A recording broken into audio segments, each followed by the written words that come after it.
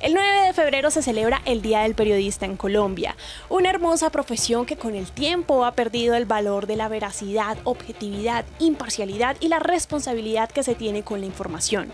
Por ello quiero aprovechar para hacer un pequeño recorderis del por qué se conmemora. Todo inició con un terremoto que sacudió a Bogotá el 12 de julio de 1785, una terrible situación que llevó a que circularan una serie de publicaciones con el fin de esclarecer el acontecimiento.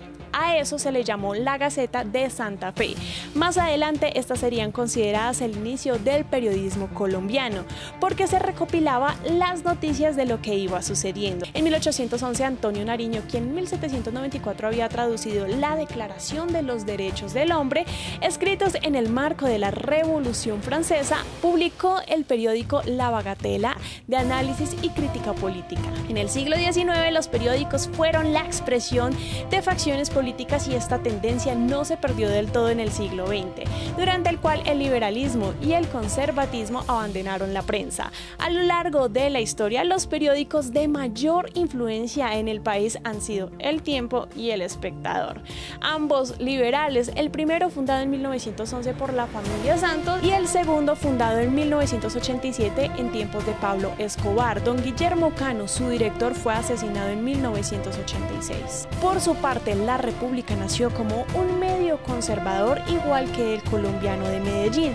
A partir de finales de la década de 1920 apareció la radio que para gran parte de la población fue la principal fuente de información y en 1984 llegó la televisión que contó con las emisiones periodísticas memorables. Hay que resaltar la labor poco reconocida de los periodistas que se arriesgan en zonas de conflicto armado y que luchan contra los poderes corruptos. Estos son los más amenazados y hasta asesinados. Además de los asesinatos, también se les quiere judicializar por sus labores de denuncia. Y la denuncia, a pesar de todos los obstáculos, es hoy uno de los grandes logros del periodismo, que ha revelado grandes negocios turbios en el sector público y en el sector privado, atropellos y falsas imputaciones. Desde la década de 1930 se enseña periodismo en Colombia. La Universidad Javeriana creó en 1936 la primera escuela de periodismo que se volvió carrera de comunicación social en 1949. Hoy la mayoría de las universidades ofrecen carrera de comunicación social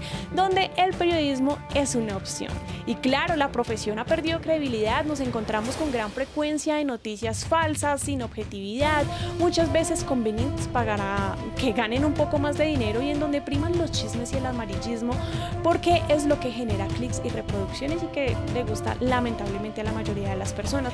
Pero con la persistencia y la valentía el periodismo sobrevive. Y como decía el gran Gabriel García Márquez, el periodismo es una pasión insaciable que solo puede digerirse y humanizarse por su confrontación descarnada con la realidad. Por algo, Superman es y yo orgullosamente lo soy desde hace 10 años.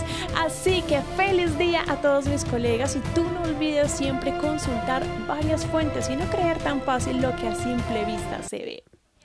de sonido, open show y 30 tambores hicieron temblar a Bogotá.